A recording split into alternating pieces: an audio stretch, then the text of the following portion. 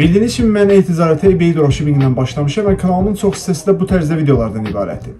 Amma baxanda görmək olur ki, həmin videolar təxminən 1 il öncəyə aiddir və normal olaraq yeni insanlar bu iş modelinə başlayanda tamam fərqli şeylər görürlər. Beləcə də bu biraz onların başını qarışdırmış olur. Ona görə də qərar verdim ki, yeni bir video çəkim və həmin videonun daxilində eBay-də olan yenilikləri, güncəl olaraq nələr baş verib və hal-hazırda fərqli olan şeylər nədir, onlardan bəhs edeyim ki, yeni insanlar bu iş modelinə başlayanda təəccüblənməsinlər. Elə isə siz də bu tərz videoları görmək istəyirsinizsə kanala abunə olmağı unutmayın. Mən isə başlayayım.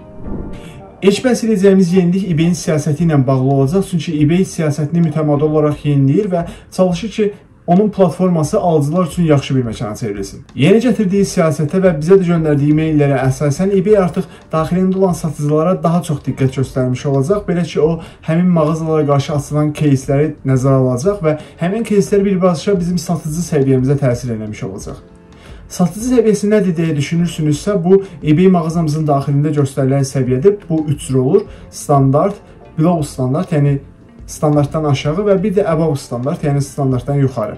Əgər siz standartdan yuxarı satıcısınızsa, ya da top rated seller deyilən ən maksimum peak satıcısınızsa, onda sizin komissiyalarınız daha az olur, eBay sizin listinglərinizi daha çox önə çıxarır və demək olar ki, eBay-in sevdiyi satıcı olursunuz. Amma standart və standartdan aşağı satıcı olursunuzsa, bu sizə daha çox komissiya tətbiq olunacaq deməkdir və listingləriniz daha az görünəcək deməkdir.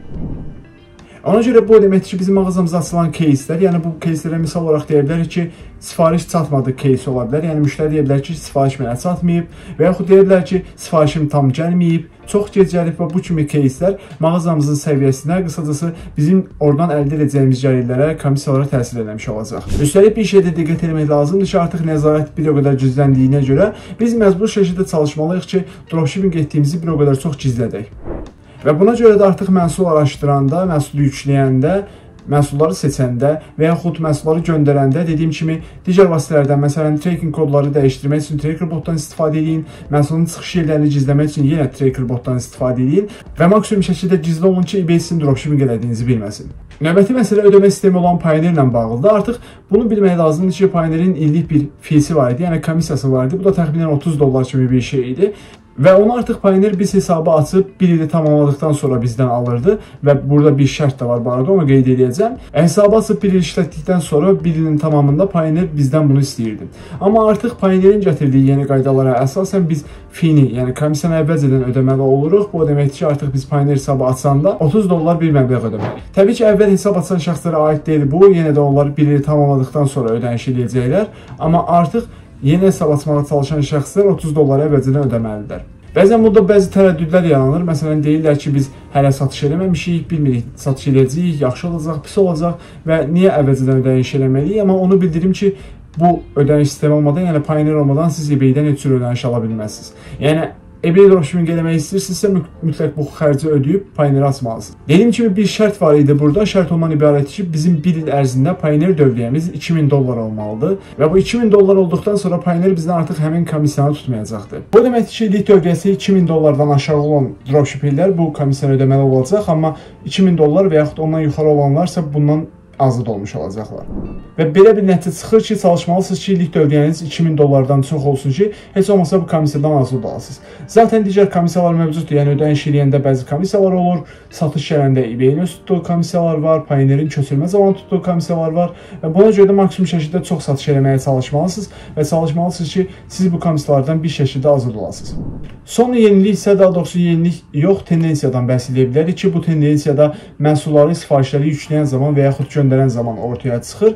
Bundan ibarət ki, artıq dropshippinglərin bir çoxu AliExpress kimi yavaş saytlarla işləmədiyinə görə eBay daxilində rəqabət daha da çoxalmış olur. Ona görə də siz çalışmalısınız ki, daha fərqli tədarükçülər tapasınız, daha sürətli shipping edəsiniz və çalışmalısınız ki, daha keyfiyyətli məhsullarla müştərinizi təmin edəsiniz.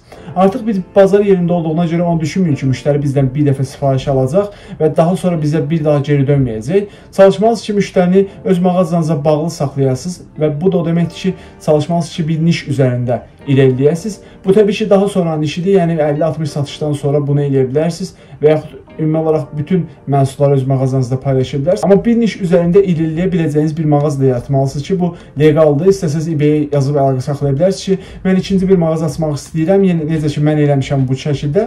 İkinci bir mağaza açmaq istəyirəm və həmin mağazada sırf bir niş üzərində məhsullar yükləyəcəm, satacağam və eBay də təbii ki, bunu yaxşı qarşılayacaq. Üstəlik həmin mağazanı yenə eyni payinlərə bağlamaq mümkündür. Üstəlik məhsulları yükləyəndə daha kreativ olmağa, şəkilləri daha çox eləməyə, açıqlama hissələrini daha cəlbedici eləməyə ehtiyac duyuruq. Çünki artıq müştərilər sadə yazılı şəkildə açıqlamalara qane olmaya bilərlər və bu da ona gətirib çıxarır ki, sizin sifarişlərinizə, daha doğrusu listinqlərinizə baxan insanlar çoxdur, amma alanlar yoxdur. Qısacası bu mənaya gəlir ki, bizim bazar yerində, yəni listinqimiz nə qədər açıq olsa da və çox insanlar tərəfindən görülsə də, ikna edici bir bazarlığa sahib olmalıyıq. Yəni ikna edici bir listinqə sahib olmalıyıq ki, satışlar əldə edə bilək. Hələlik ümumi olaraq yeniliklər bundan ibarət idi. Təbii ki, yenə nəsə fərqli bir şeylər olsa, mən sizə bu haqqda video çəkib məlumatlandıracağam. Bu gün isə deyəcəklərim bu qədər idi. Başqa videolarda görüşmək ümidi ilə sağlıqla qalın.